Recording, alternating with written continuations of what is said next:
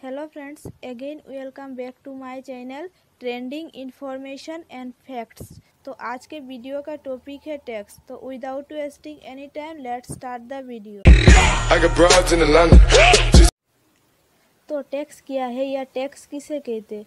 So tax उसे कहते हैं कोई भी ज़मीन प्रोडक्ट या इनकम के ऊपर सरकार को हमें फ़ीस देना पड़ता है या सरकार हमारे यहाँ से फ़ीस लेता है उसे ही टैक्स कहते हैं।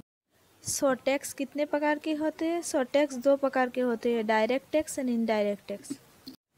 तो टैक्स के बारे में जानकर कैसा लगा, प्लीज़ कमेंट कीजिए एंड प्लीज़ सब्सक्राइब कीजिए।